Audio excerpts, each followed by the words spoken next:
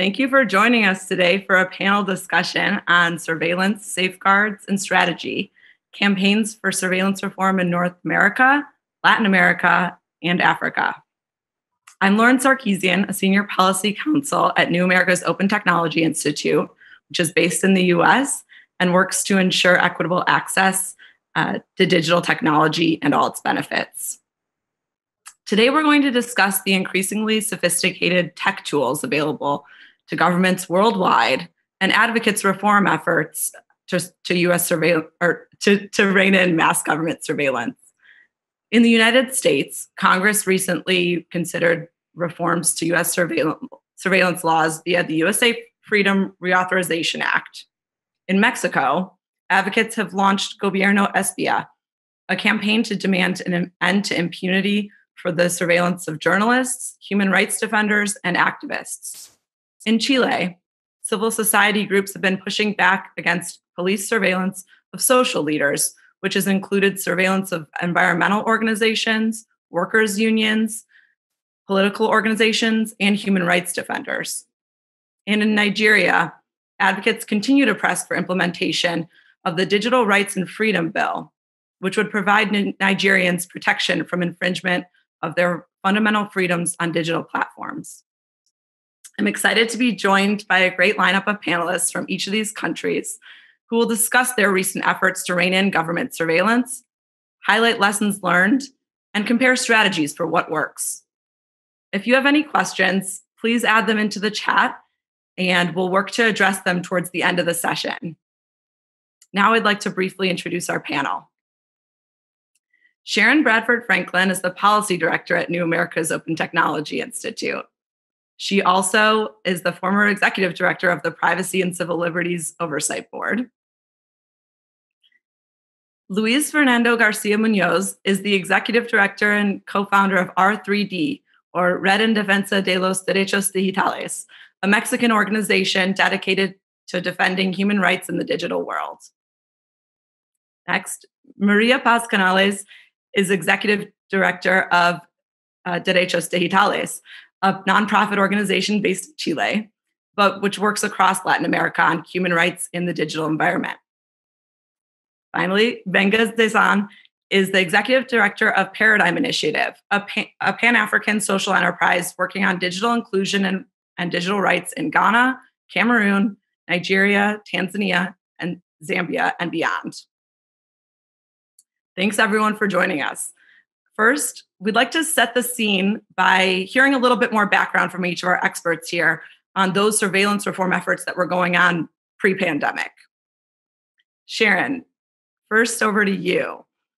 In, in the US, like I just mentioned, Congress recently considered reauthorizing provisions of the Patriot Act, and civil liberties groups, including ours, OTI, worked to reform those authorities um, through the USA Freedom Reauthorization Act. Can you discuss a bit more about what those reforms looked like that advocates were seeking and why exactly they're needed? Sure, thank you. So, when we first planned this session for RightsCon, I had actually expected to talk about how we had recently completed our campaign to seek reforms to the USA Patriot Act and to assess how well it had gone. Uh, I'm sure that audience members, even from outside the United States, have heard of the Patriot Act and the broad surveillance powers that it granted to the US government by expanding its powers under the US Foreign Intelligence Surveillance Act, or FISA. Three of these surveillance law provisions had been set to expire last December, and Congress passed a short term extension until March 15th of this year. The normal course of things with each sunset date is that Congress doesn't want the provisions to expire, but as it considers uh, reauthorization of the expiring provisions, there's an opportunity for advocacy, advocacy groups to engage in uh, pressure for uh, reforms to US surveillance law. Amazingly, this year, Congress actually allowed the three provisions of surveillance law to expire this past March 15th, and still has not passed a law to reauthorize them or to enact further reforms to US surveillance law.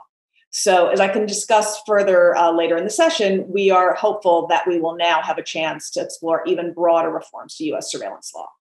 But to answer Lauren's question, um, through our campaign this year, uh, there are a wide variety of reforms that OTI and our allies uh, have been seeking, but I want to just uh, outline a few of those, the key ones. Uh, first, as a bare minimum reform, Congress must end the Section 215 call detail records or CDR program. This program replaced the bulk phone records program that Edward Snowden had revealed to the public in 2013. And that was the program through which the NSA swept up millions of records on which phone numbers were calling which other phone records, phone numbers, excuse me, and when. And although the currently authorized program uh, is much narrower than the bulk program it replaced, it is still privacy invasive. And the NSA actually shuttered it last year because it isn't even effective. So now Congress needs to permanently end this Section 215 CDR program as a first step toward reform. Second, Congress should strengthen and expand the role of the amici or friends of the court who participate in certain proceedings in our secret FISA court. Um, without the amici, those judges only hear from government attorneys. But these amici can contest the government's arguments and advise judges on privacy and civil liberties issues. Their role and authority needs to be expanded so they can provide much needed oversight for the FISA process. Third, Congress should clarify that US government may not rely on Section 215 of FISA to collect any type of information that would require a search warrant in the context of criminal investigations. In particular, we need stronger safeguards for location information and for internet search and web browsing history. These sensitive and revealing types of information should require the government to meet a higher standard. We have also sought a variety of additional reforms, including establishing reasonable time limits on data collected under Section 215, uh, meaningful notice to criminal defendants, and additional transparency requirements. Thanks, Sharon. And so, can you give us a little more? Can you contextualize that a bit for us? So, I know you said the legislation is sort of at a standstill, um, but where does that leave the broader surveillance reform efforts in the US? Sure. So, as I noted, surprisingly, Congress actually allowed the three sunsetting provisions of US law to expire this past March 15th. Um, the House of Representatives passed their version of the USA Freedom Reauthorization Act back in March, just before the March 15th sunset date. Um, and it included some of the reforms that I outlined, but certainly not all of them. Then in May, um, two months uh, later, after the expiration of the provisions, the Senate passed its version of the same law, which was pretty much identical to the House version, but it included a key amendment that would further expand the role of the amici in the FISA court, as I described, the people who get in there to advise the judges. Um, and that is a key reform that we had sought. But the Senate bill still failed to include other key reforms, such as the safeguards for internet search and browsing history. But we had expected the two houses of Congress to go to conference and come up with a version of the bill that both houses would pass and then would be enacted into law. But that still hasn't happened, and we have no word on whether it, when or whether it will. Um, it's possible that um, these provisions of surveillance law won't be reauthorized at all, or at least not anytime soon. Uh, in the case of Section 215, uh, which allows the government to collect business records and also supports the call detail records program that I mentioned. Um, it's important to note that, first of all, the government is still allowed to continue investigations that it had gotten authorized and begun before the law expired on March 15th. So many of those we assume are still ongoing. And second, that since March 15th, this business records provision simply reverted to its pre Patriot Act or pre 2001 version. So there still is a legal authority in place for the government, even though it's narrower. Um, also, though, some people are concerned that since these statutory provisions went dark, the government is instead relying on an authority called Executive Order 12333 or EO 12333. That order actually governs most of what our intelligence agencies do, but it does not provide for as many safeguards for privacy and civil liberties as the statute FISA. Um, under a proper interpretation of that order, EO 12333, the government should not be able to simply replicate the statutory authorities that have gone dark. Um, but we have very little transparency and far less oversight for any surveillance conducted under that order. Uh, so, but it is really important to note that this is an unprecedented situation for the United States since the original passage of the Patriot Act back in October of 2001. Also, um, earlier this month, as many uh, audience members I'm sure are familiar, in the Schrems 2 decision, the Court of Justice of the European Union invalidated the Privacy Shield, finding that there are not adequate safeguards under US surveillance law to protect Europeans' data. So we have several forces now pressing the US government to undertake a more serious overhaul of US surveillance law. And I'm hoping that we'll have the opportunity to engage in that kind of more thorough reworking of our surveillance law in a comprehensive way. Thank you. Um, Luis, next we'll turn to you. So in Mexico, uh, as I mentioned, advocates launched the Gobierno Espía campaign in 2017 after numerous reports surfaced revealing that the Mexican government was targeting journalists, anti corruption ad- ad- activists, and human rights defenders with advanced spyware um, known as Pegasus. Luis, specifically, what does the Gobierno campaign call for? Sure. Thank you. Thank you for the invitation. Um, well, as you mentioned, the, this campaign, Gobierno Espía, was launched after the revelation of several attacks, uh, surveillance attacks with this uh, malware called Pegasus, which is sold by um, the Israeli company NSO Group uh, in 2017. Human rights defenders, journalists, etc.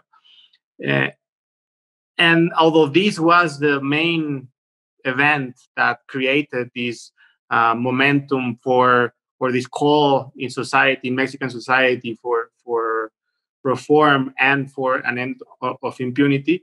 This is a culmination of, of years of research, of advocacy have shown how in Mexico there are great irregularities on uh, how uh, surveillance is acquired and how it is used. And when and and, and beyond that uh, that how difficult it is to first detect abuse and second once it is detected how difficult it is for there not to be impunity about those abuses. And the, the, there's a direct link between those abuses the impunity the lack of, of clarity and transparency about the acquisition and use of these tools and regulation. So in, to, in a nutshell, I would say that the Gobierno Espía campaign obviously calls for uh, consequences for for uh, an end of impunity of surveillance to the group of people that was detected that were surveilled, but that we have always said that it it is a, a tip of the iceberg uh, situation in which we just know a few people who have been targeted because also something that is really important to take into account is that these tools are being designed in a way in which uh, they are made not to be detected. So uh, uh, it is similar to for example when the arms industry uh, has produced uh, weapons firearms that do not leave a fingerprint for example no? Uh, and that has been very controversial but somehow we haven't discussed much about if it's legitimate that, that governments, democratic or supposedly democratic governments, uh, uh, acquire and use tools who they can use with impunity without any type of accountability. Uh, and this is what, what has happened in, in, in Mexico.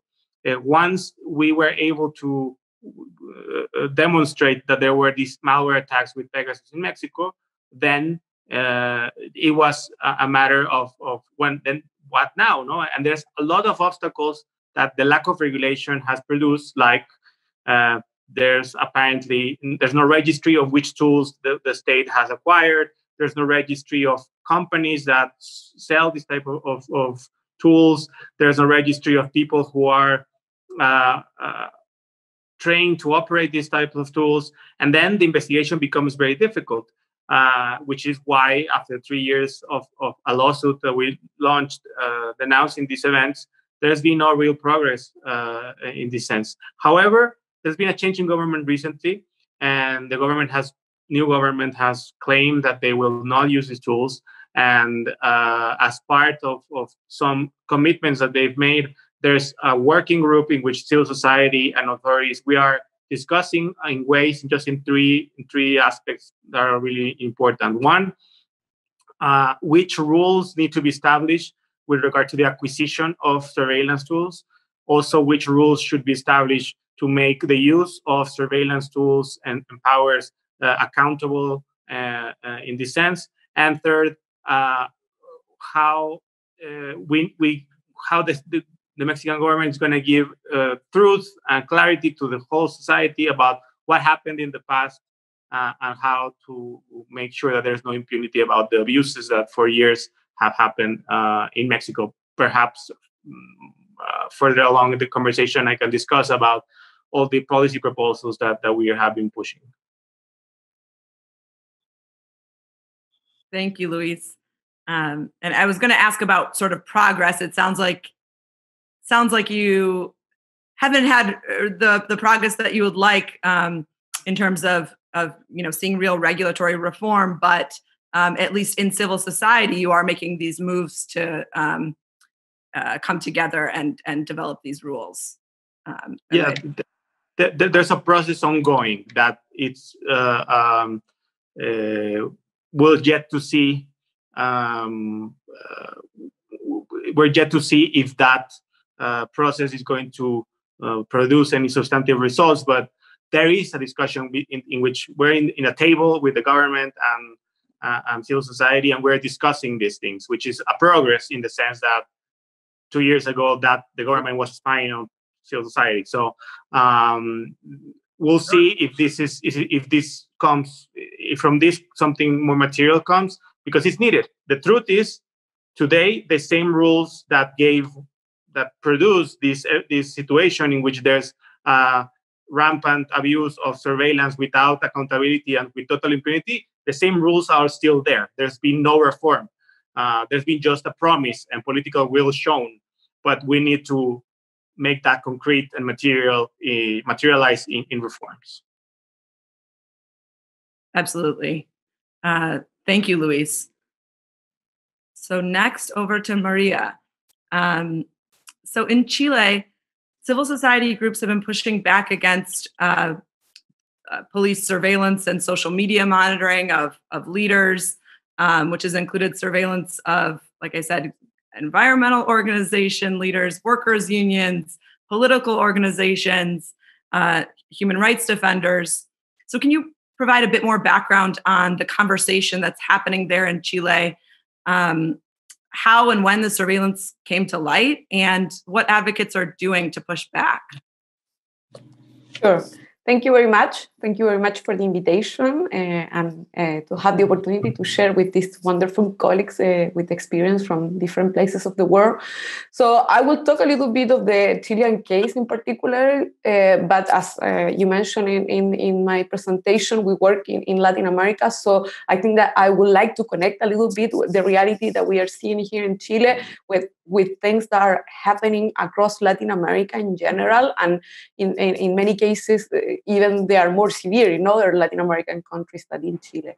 So the context for all this, just for the people that is joining us in this session and, and doesn't have a, a clear um, a, a panorama about what is going on in, in these uh, uh, terms in Latin America, uh, just before the pandemic, the last months of uh, 2019, we have uh, several different uh, situations of social uprising in different Latin American countries. We have uh, social protests in Ecuador, in Colombia, in Bolivia, in Chile majority of them linked with uh, the claiming of the people for changing some uh, economic and social structure that had been in place for, for a long time in the region.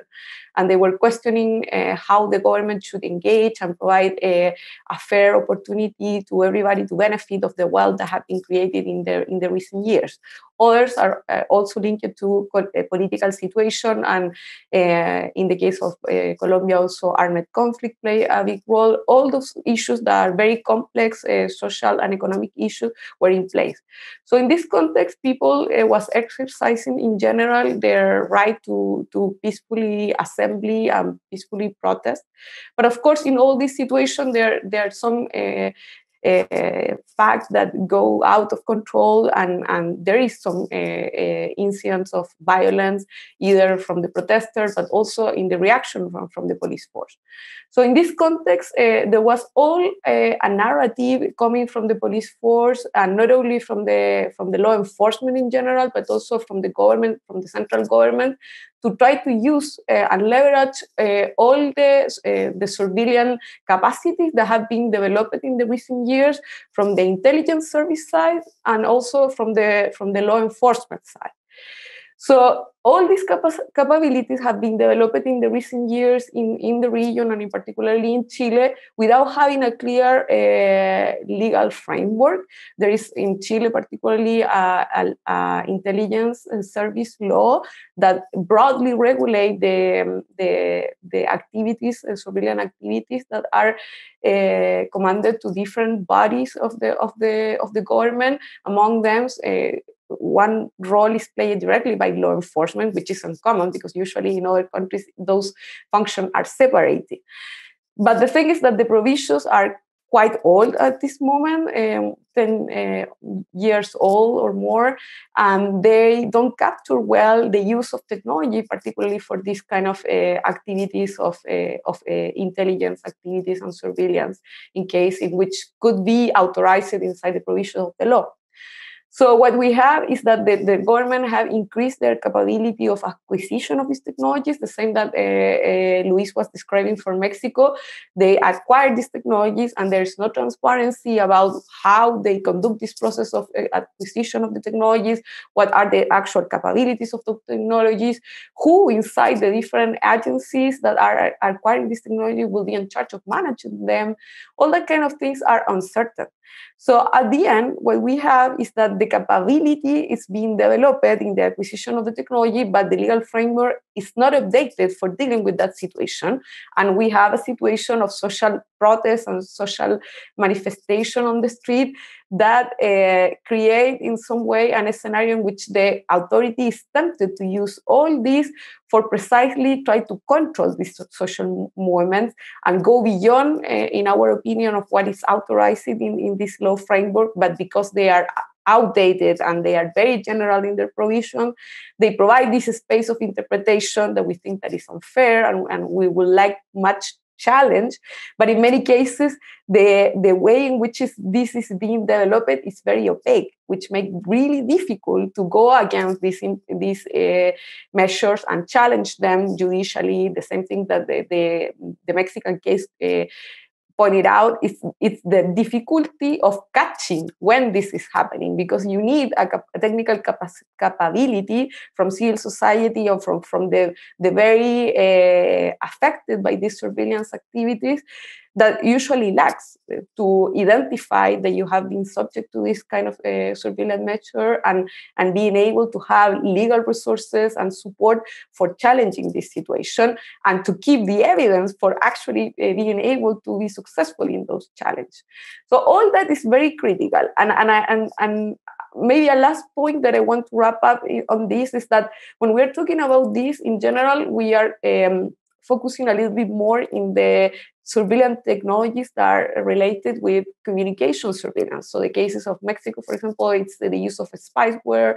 You were also uh, talking about the provision uh, in the in, in the Patriot Act in, in, in the US that are linked to how to have access to the information uh, regarding the communication, but also as I mentioned in, in, the introduction, many of these technologies are being deployed in the recent years in Latin America, uh, more linked to the surveillance of the public space and the surveillance of the body, as we try to capture it in, in a concept, because uh, those also imply the use, for example, of camera, facial recognition cameras that are deployed in the public spaces, or even high definition cameras that are being deployed in the public spaces, and they, and they are uh, interconnected in in central services that allow uh, the authority to, to have a panopticon that when you are thinking that this all this have been put in place under the narrative of public safety people can think that it could be acceptable. But when you realize that the same uh, technology is being used in the situation of,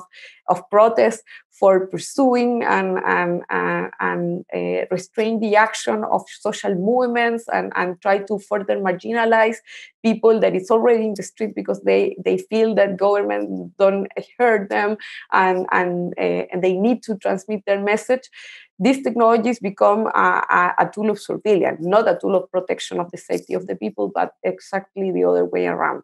So it's also a, a thing to have uh, in mind. And, and the last piece of the categorization of technologies that are being used in this sense, that also was mentioned in the introduction, so I don't want to leave it uh, up in the air, is the, the the um, increasing uh, trend that we are seeing in Latin America in general about the use of the open uh, source intelligence. and uh, this refers to the concept of using information that is up there in the public platforms, in social network, regarding the activities, because a lot of this social organizing and social movement take place now in the digital network.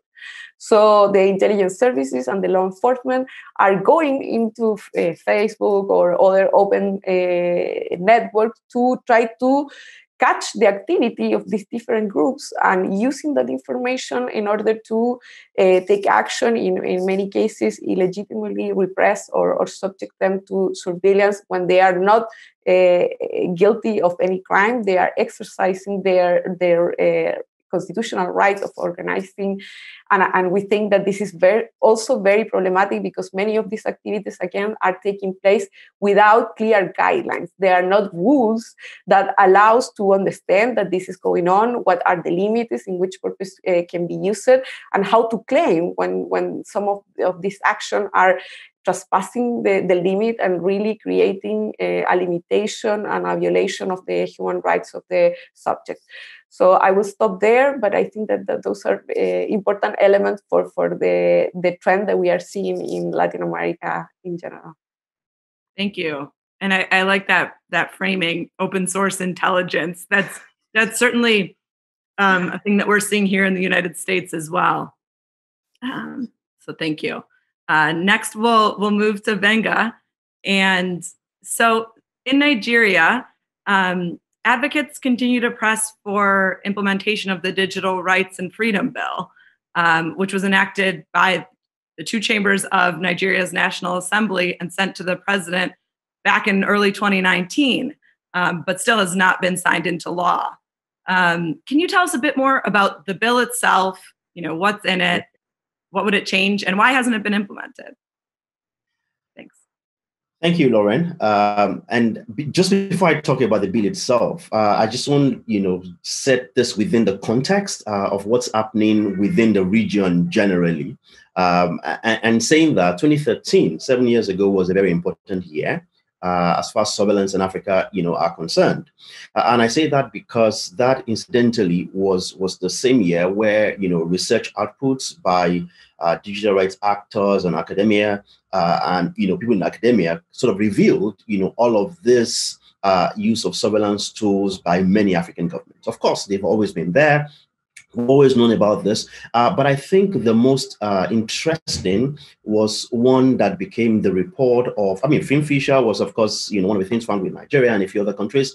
Uh, but that year was when we found out two key things. One was that all along, all of the surveillance tools being bought by governments were included in the public budget. Uh, and, and it was it was kind of interesting because it was an easy way to find out what was going on uh, because these budget line items had exact names of the products that were being bought. So, for example, in 2013, uh, you had this product that was being sold by you know Israel-based Elbit Systems that was listed exactly in the annual budget. Uh, of course, it was it was inflated in the budget, uh, which also brings the issue of surveillance and corruption uh, to the fore.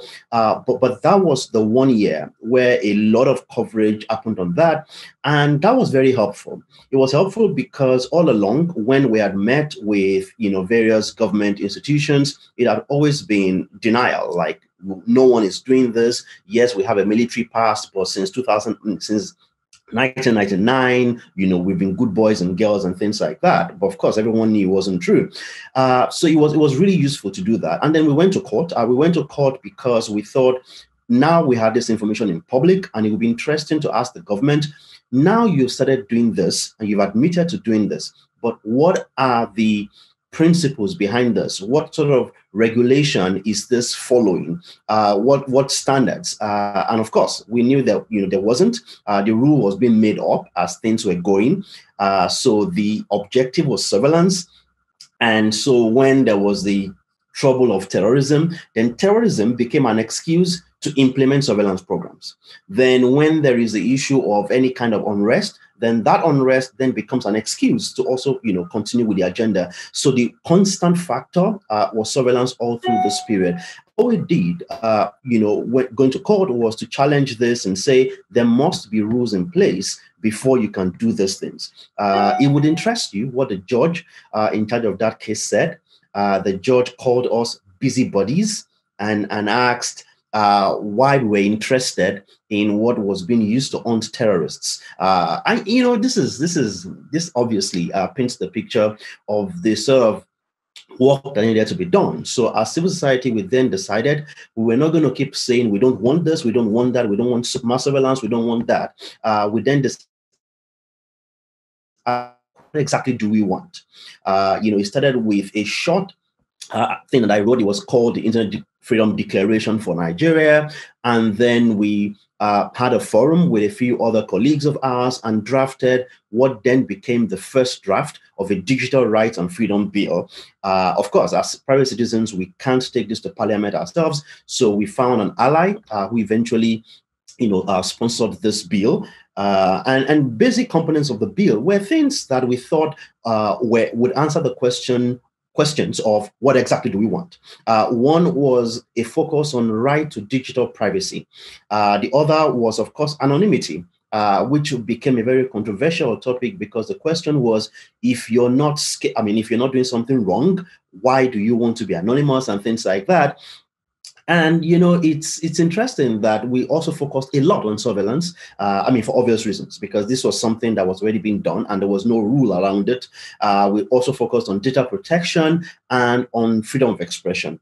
Um, and in you know all through the period, so in 2014, this whole process started. We eventually got a sponsor in 2016. We invited the legislator to our forum, and he did promise at the forum in you know September 2016 that he will sponsor the bill. Uh, in August 2016, he will sponsor the bill, and before the end of the year, he will go through you know a few processes and things like that.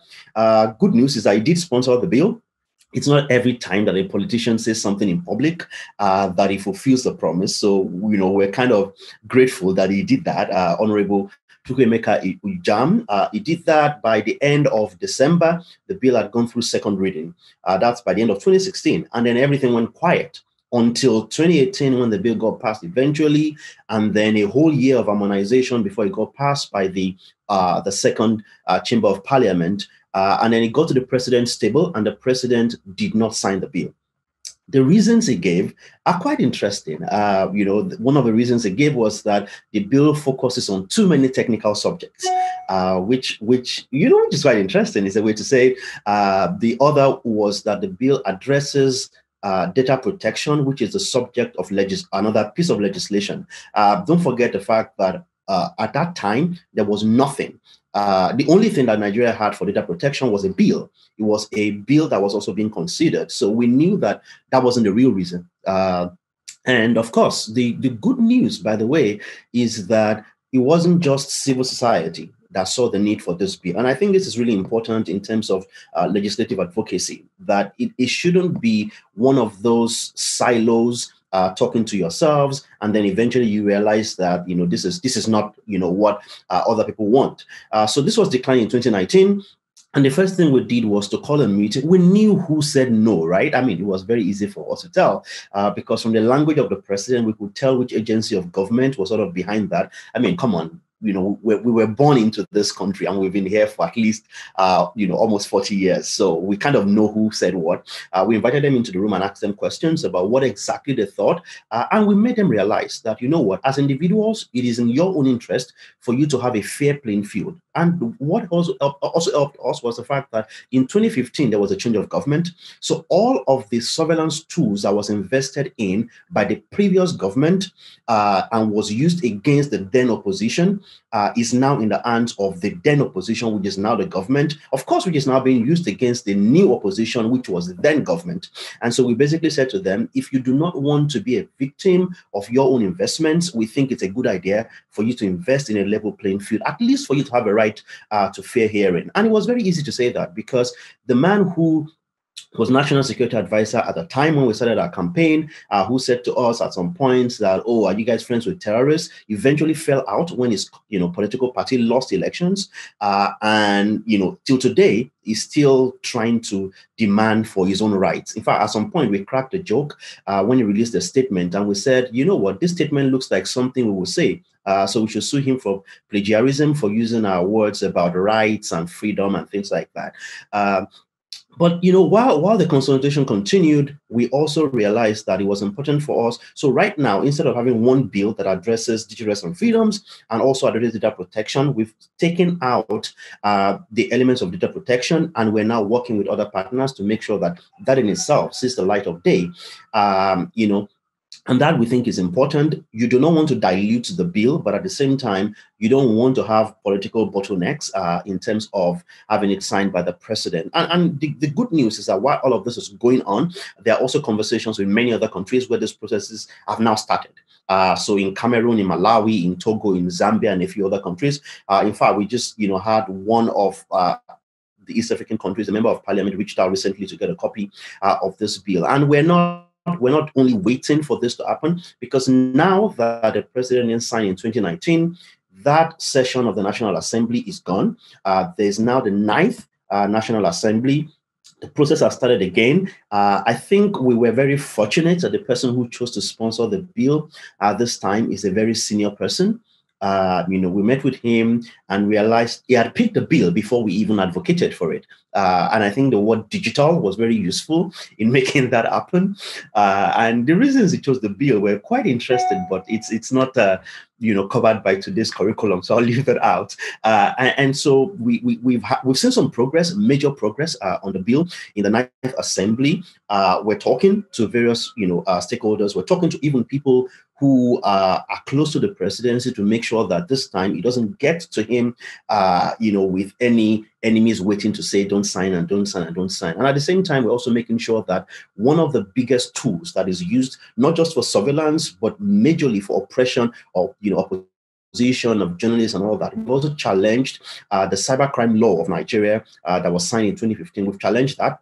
Of course, as usual, we lost uh, the case at the beginning, but then we appealed, and now we have appealed all the way to the Supreme Court, uh, and we're just waiting for a date from the uh, from the chief law officer so that we can then uh, go to court. But that is, you know, that has also been helped by the fact that the ECOWAS court actually uh, listened to the same case and has now asked the government of Nigeria to remove sections 24 uh, and the other section uh, 38 from that cybercrime law because it does not it isn't in line with the, with the constitution of nigeria. So we have all this i mean these two different processes going on at the same time. Uh, one is don't want uh, which is basically what is wrong with current legislative and uh, legislative provisions and things like that and what we do want which is the digital rights and, and freedom bill. And, and i'll stop here so we can you know continue with the conversation I'm happy to answer specific questions about the bill itself and also what's happening in other countries within the region. Thanks, Lauren. Thank you, Gbenga. Thank you for all the helpful background.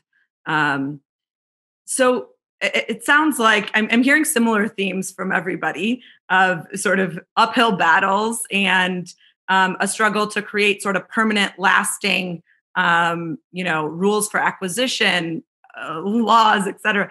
Um, uh, of these technologies. So I'd like to try to draw from from lessons uh, across you know regions here and discuss strategies for success a little bit in scaling back surveillance. Um, what do you guys think? What has been most successful? Whether it's you know litigation or if it's grassroots efforts, um, uh, you know whether it's just elections and the changes in administrations. Um, what have you found that's worked best for your organizations or civil society generally? Maria, it sounds looks like you're ready. Oh, sure. Yeah, I can go. Um, I think that the, the answer, of, uh, as usual, is a combination of all of them. Um, I think that the one um, element that maybe I, it would work that I highlight because my, my colleagues can focus in the other ones also, uh, it's the, um, the um, usefulness that uh, the international human rights framework has also as an element of advocacy, particularly from the perspective of Latin America. Uh, as has been very difficult to drive attention, and local attention on these issues because they are complex in terms of the technical aspect and because uh, these are issues that are very sensitive. So many many person can have a personal opinion on this, but a lot of people also is afraid to publicly appear like advocating uh, for some of these things and being framed in the way in which Gbenga was describing for for Africa also like that you want to protect criminals you want to protect terrorists that kind of narrative is very common. And and also in in different contexts in Latin America we have a situation of, uh, of lack of respect of human rights and, and, and uh, persecution of a human rights defender that put them uh, at, at risk of life. So at the end, it's not easy sometimes advocating against this complex situation and precisely as I was pointing out previously, because there are not much evidence also for have strong legal cases that can be followed uh, at the national level.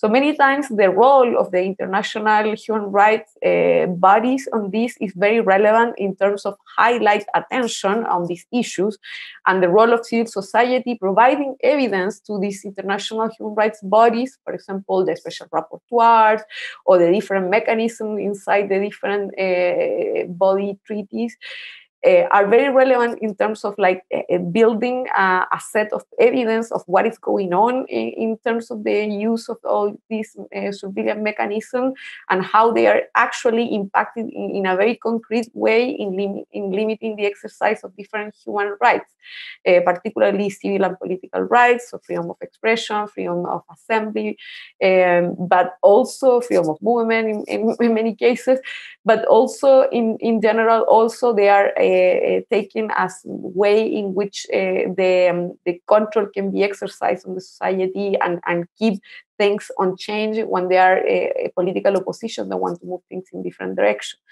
So I think that uh, it's very relevant to uh, understand these as, as elements that can be leveraged for uh, using in the national strategy.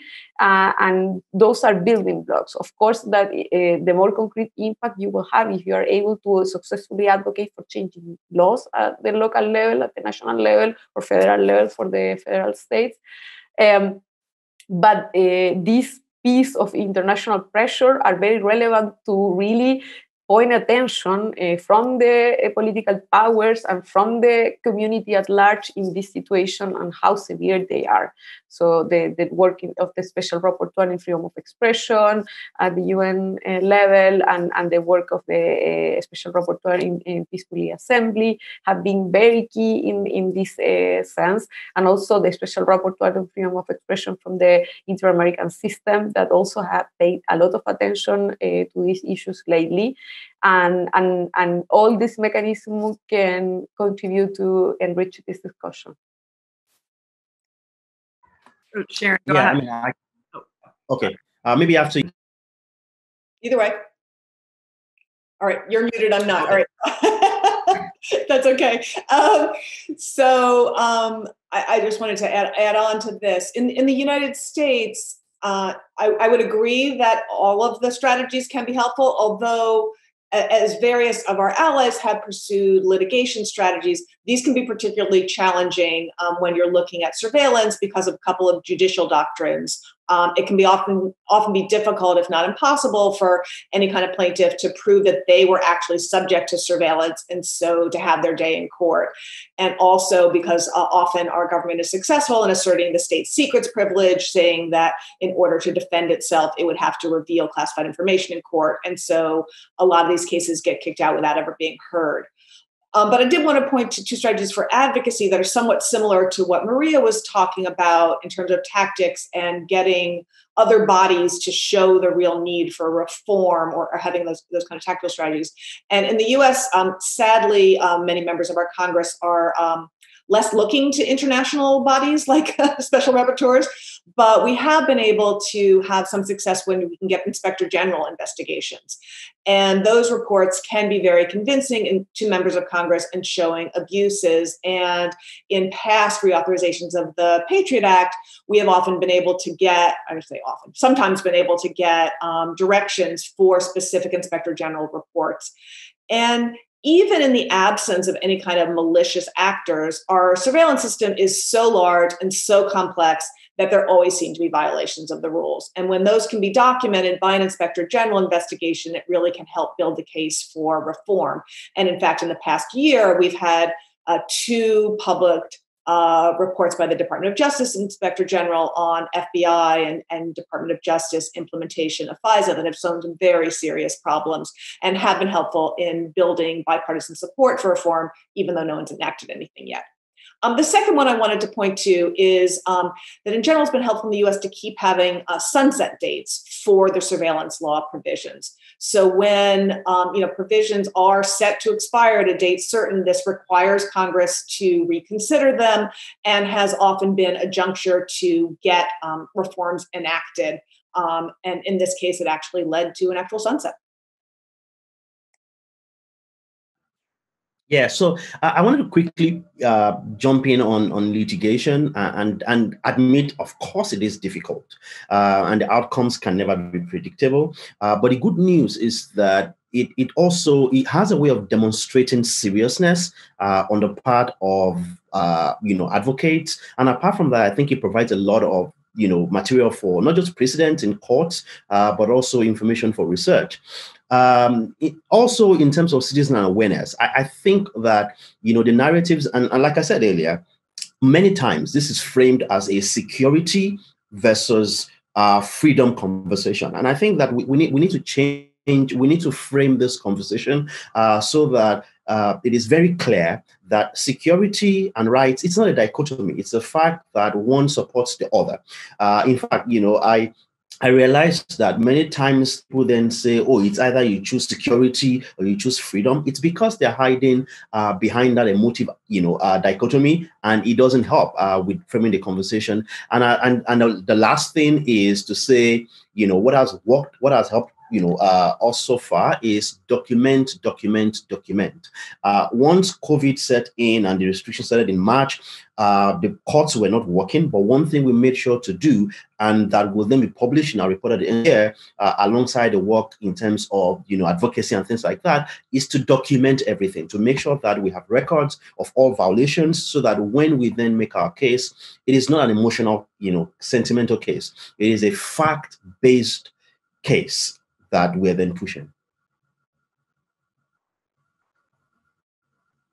Thanks, Gbenga. How about you, Luis? Yeah, uh, also, I want to mention, of course, I, I think we cannot afford a civil society to choose one and proceed from other strategies. We have to do everything uh, and choose where it makes more sense. For example, in Mexico, we do have a better environment for litigation. We don't have to prove standing. We don't have uh, I mean, there's there's a lot of advantages for doing litigation in Mexico, but also, of course, challenges. No, we already have an, a case in the Inter-American system, which, as we as more as as we, uh, as, as we know, is the most advanced in the system, although it's very uh, lengthy procedure in the Inter-American Commission. But eventually, it can become a, a very important case that sets a precedent for the whole region. Some extra strategies that I want to mention is statistics and access to information laws we have used very intensively to produce evidence about irregularities in the use of surveillance tools. Uh, joining and working with journalists uh, who can uncover and and and and produce uh, documents that come from whistleblowers have been essential and the documentation of cases because for a lot of people this still seems like science fiction or something that they cannot touch and see and once you put a face on the victims of surveillance, it, it becomes easier and the narratives change. And we've seen that in Mexico, in which surveillance has been sold as this magical tool against organized crime. And once we we we demonstrated all these cases, the public shifted, and, and now uh, we don't generally accept uh, this. And the other thing is that we need to get into the specifics of reform, not just fluffy don't spy on us stuff, but more concrete uh, policy proposals. And that's why uh, we, out of the challenges that we have for impunity or for abuse, that's why we're calling for very specific things. Like uh, if you want to sell this type of, of, of tools, like Gbenga said, said this is a, a business ripe of corruption. Uh, for corruption. Uh, uh, for example, Pegasus in Mexico was sold by a company that is a shell company that uh, have never sold anything to anyone before this and has never sold anything after that. It was just a company that was just made up to make this this this uh, contract, which is obviously protected by secrecy laws, etc., which you can break if you fight for it, but you have to fight for it. So I think definitely uh, uh, uh attacking also the business side of this, which is a, business, a corrupt business between companies and governments, uh, is also very important. And for that, we need uh, rules that make that more difficult. And, and we've been calling for registries uh, of, of companies that have to obtain authorization to sell these types of tools, which limits on which tools can a, can a government acquire, which registrations and which paper trail needs to exist. Uh, first, to be able to detect abuses, and second, once they're detected, so you have uh, documents and paper trail that you can investigate on to try to attribute those cases to, to, to someone. No? So I think uh, definitely also delving more on the specifics and the and the and, and what we as civil society are calling for what does does regulation accountability transparency actually means in practice it's totally essential and for that collaboration in all of these strategies between organizations is key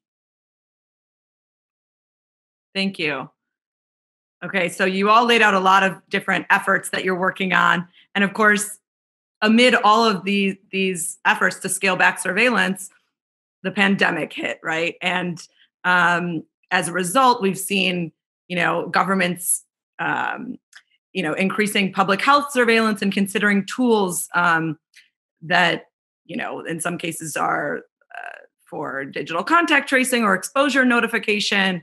Um, in some cases, quarantine enforcement, um, collection of cell phone location information, and beyond. Um, so, I want to talk about how this added layer of the pandemic and this increased surveillance um, really impacts the overall narrative and the overall efforts that you all have been working on. Um, who would like to go first? Maria. Okay. yes.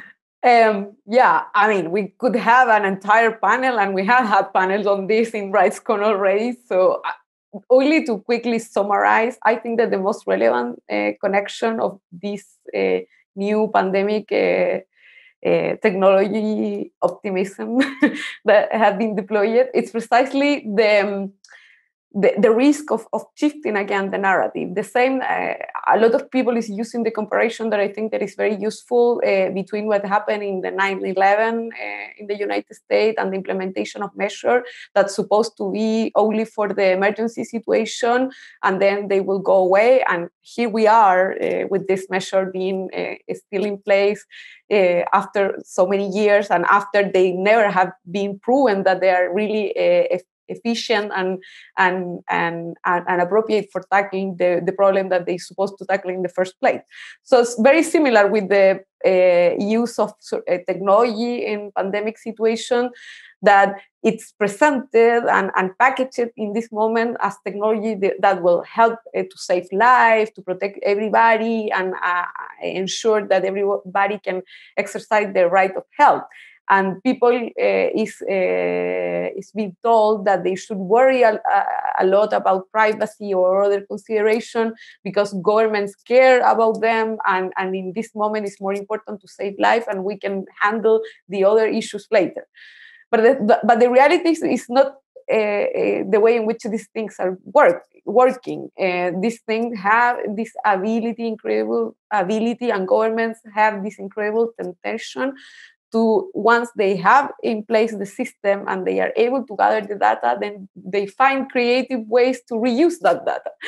And and something that started with one purpose at the end is very difficult to uh, track that is keeping in that purpose because uh, we don't have the oversight mechanism, the rules that you have been talking about, for really be sure that this uh, don't end in the function creep. That is the way in which the phenomena is being described.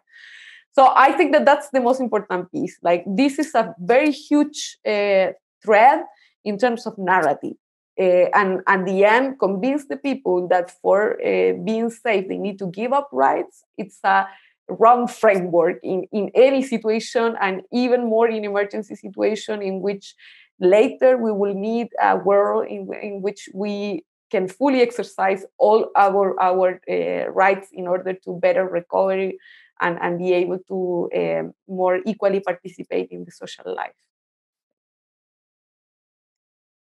I, would like to agree 100% with everything Maria said. She even gave my Patriot Act example, so um, which is great. No, no, no, I didn't. No, that's good. That's good. So I can be I can be faster um, and give everybody else a chance to talk. So uh, just two things. Uh, one on the very specific issue of the contact tracing and digital tools. Um, uh, Lauren and I and a team of colleagues from OTI have actually been doing a lot of work on this, and we actually issued a report at the beginning of this month outlining the equity, privacy, and civil liberties risks posed by digital tools um, that can be used to supplement contact tracing and looking at as well at safeguards that policymakers can adopt to mitigate those concerns. So that's important. Uh, really critical to have guardrails in place, including making sure that you're using the Bluetooth apps that measure how close people come to each other instead of location information, and addressing the fact that so many people don't even have smartphones and the equity issues there. Um, on the broader point that Maria made, uh, I agree absolutely and completely, and we're very concerned about that. I am hopeful, though, that unlike the case with terrorism, where policymakers can never safely say, okay, that risk is over, we can rein in surveillance, that one day in the not too distant future, we can say that this pandemic is actually ending and that justification will go away. And so it's really critical we put those guardrails in place and have sunset dates for any kind of surveillance measures that are adopted. and I think you know one, one one trend that we've seen now very quickly uh, uh, is that we've seen the appropriation of health surveillance uh, for uh, you know political and anti-popular opinion surveillance you know and, and that, that's very worrying because one of the things that we hope does not happen is that some of the things that are being done now during this pandemic do not become the new normal and an excuse for governments uh, with an agenda to implement uh, what they already had in mind. So I think if there's any time we need to pay attention, it is now. If there's any time we need to speak up about the issues, document things, and make sure that nothing escapes us, it is now because this is the moment that you know uh, anyone with an agenda would take advantage of very clearly, as we've seen done across from the north to the south. Thanks. Go ahead, Luis. And very quickly, and also building on the point that, that all of you have made, uh, I think some that are seizing this opportunity also, and I think this is something that will be difficult to.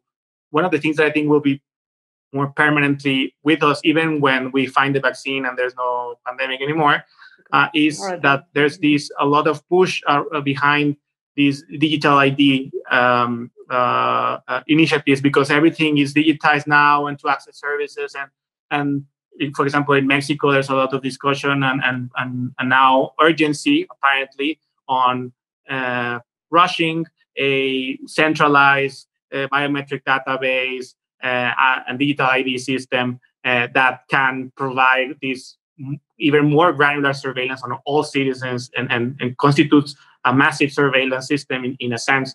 Uh, so definitely uh, uh, that's something to be to point out and to also look for uh, uh, around the world because I think this this is one of the agendas that Gbenga was, was saying that I think it's it's definitely trying to use this opportunity to push it even further all over the world. Well, thank you, everyone. Um, I think we might need to wrap it up there since we're about at time. But thank you to our amazing panelists who gave such insightful um, thoughts. And thank you to RightsCon for hosting us. And thank you to everybody in the audience who tuned in. Um, appreciate the, the opportunity to chat. Thank you all. Thank you. Bye. Bye-bye. Thank Good you. afternoon.